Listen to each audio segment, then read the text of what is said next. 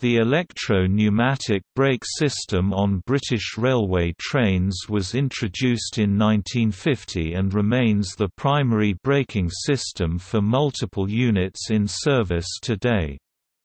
The southern region of British Railways operated a self-contained fleet of electric multiple units for suburban and middle-distance passenger trains. From 1950, an expansion of the fleet was undertaken and the new build adopted a braking system that was novel in the UK, the electro-pneumatic brake in which compressed air brake operation was controlled electrically by the driver. This was a considerable and successful technical advance, enabling a quicker and more sensitive response to the driver's operation of brake controls.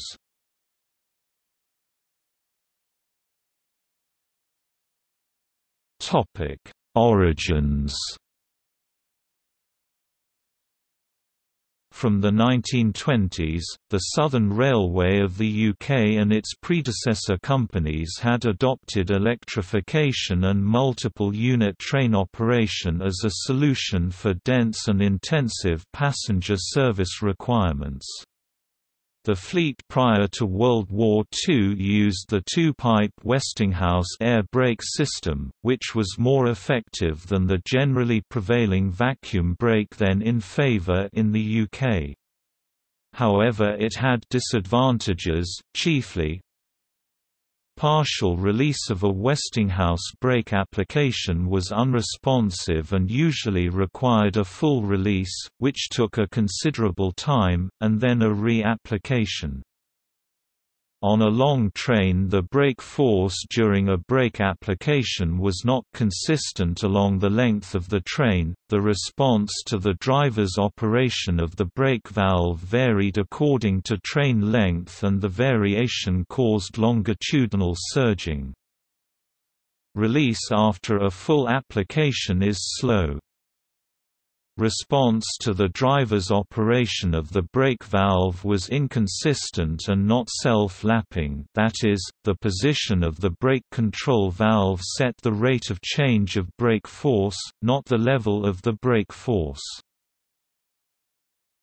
The first EP-fitted units The first Southern units fitted with EP brake could be considered the Bulleid double-deck 4DDs built 1949 4001 and 4002.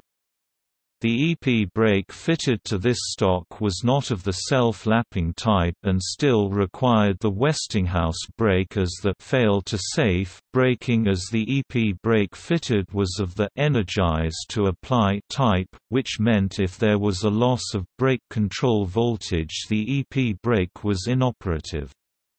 The four DDs were based on the earlier 4SUB but were not operationally compatible with either the 4SUB or later EPB stock. Starting in 1950, a large new fleet of suburban multiple units was delivered to a pre-war design and, as well as other technical improvements, they were equipped with the electro-pneumatic brake, universally referred to as the EP brake. The advance in braking technology dominated the other developments and the designation of the train units was 2 EPB and 4 EPB for the 2 and 4 car units respectively. The design was successful and a larger fleet of broadly similar design was built and the Kent Coast Line electrification extended the adoption of the EP brake to medium-distance passenger operation but still confined to multiple units. A small fleet of locomotives were built for the southern region and had a brake control system fitted that was compatible for interoperability purposes.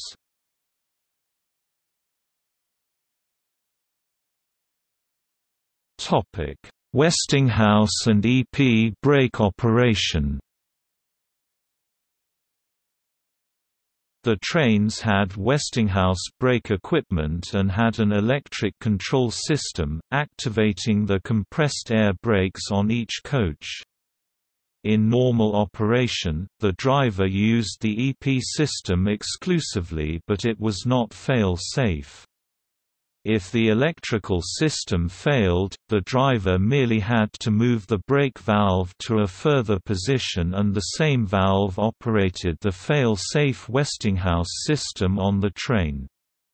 This was only done in case of failure or emergency.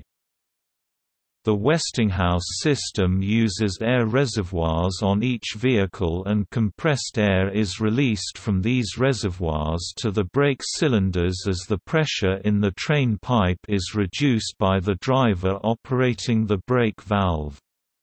This process causes a mechanical linkage to press the brake blocks against the wheels.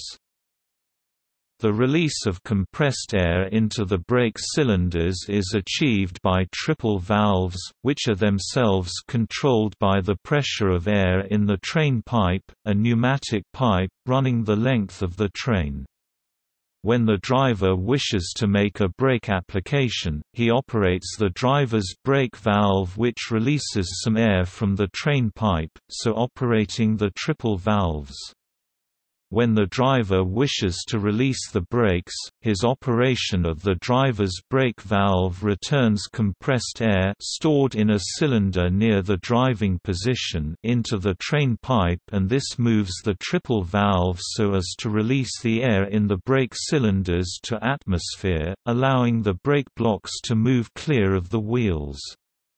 Although, in multiple unit operation, the air reservoirs on the vehicles can be relatively quickly charged, the restoration of pressure to the train pipe takes some time as air has to travel physically down the length of the train. In EP operation, a distributor, performing functions similar to those of the triple valve, is operated directly and instantly by electrical control from the driver's brake valve. The Westinghouse brake cylinders and air reservoirs and pumps are used, so that only the means of transmitting the driver's command is changed.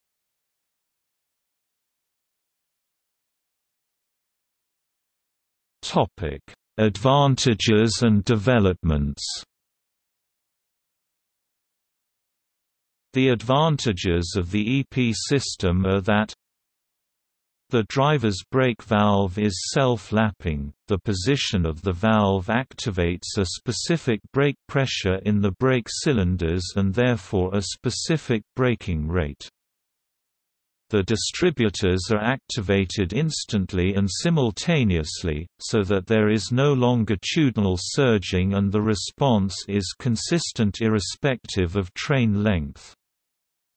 Release of a brake application starts instantly in response to the driver's brake valve, throughout the train, and partial release and re-application is possible. The electrical control system required control cables throughout the length of the train, in addition to the two air pipes for Westinghouse operation, and a jumper cable was provided at each end of every unit for use when two or more units were coupled to run in multiple. In 1950, no electronic control was possible and the system used four conductors in the cable to achieve graduated braking rates. The EP brake system was greatly appreciated by drivers and was adopted for subsequent builds of rolling stock on the southern region of British Railways, including middle-distance passenger stock. The next generation Following on from the original EP stock, the system was developed further on the second generation of multiple unit trains built for British Rail in the 1970s such as the Class 313 EMU. The Westinghouse air system was abandoned in favor of a fully electrical system of control, so that the need for a brake pipe and triple valves was dispensed with. Instead a single air pipe, now called the main reservoir pipe runs the length of the train. It operates at 10 bars and in addition to feeding each brake cylinder reservoir also provides air for the secondary suspension systems airbags and power doors. Each brake reservoir stores air at a pressure of 7 bars and is fed via a pressure-reducing valve off the main reservoir pipe. The driver's brake handle passes control voltages down three wires to each EP control valve, which allows air from the brake reservoir to pass into the brake cylinder, thereby activating the disc brake. The presence of the voltage holds the brakes off, providing a fail-safe system. The three-step Westcode brake uses three wires and these operate in a binary sequence to control the brake step. 10 and 11 are the brake coding to provide the three steps, 12-wire is emergency brake, 15-wire is EP brake negative.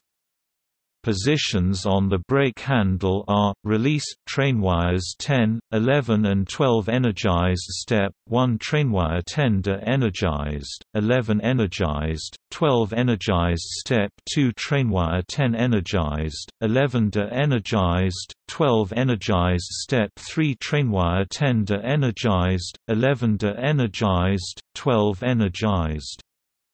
Emergency, all three trainwires de-energized and earthed the system remains in use today.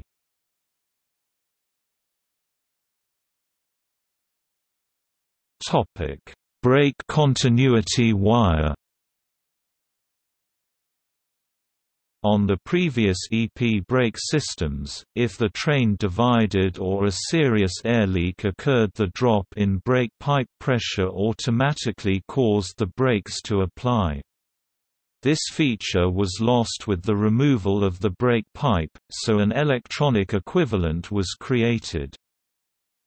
The brake continuity wire aka Trainwire 13 is fed with a 120 volts DC control voltage from the battery and runs in a loop round the train, passing through various governors air pressure operated electrical switches in each carriage, finally feeding the power and brake control handles in the driver's desk.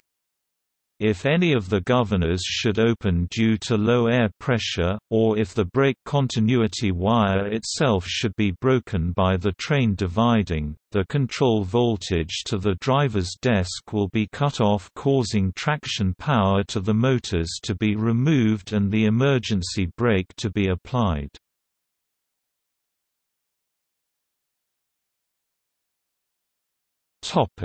Current use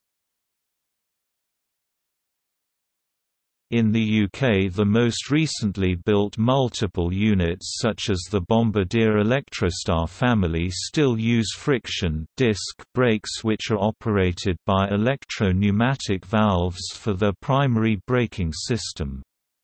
Additionally dynamic braking is blended with this to achieve a higher braking force and reduce brake pad wear.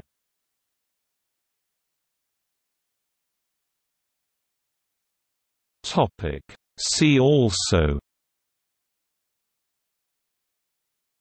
Electropneumatic brake Topic Further reading Moody, G.T. 1979. Southern Electric 1909 to 1979. Ian Allan Limited. ISBN 0-7110-0924-4.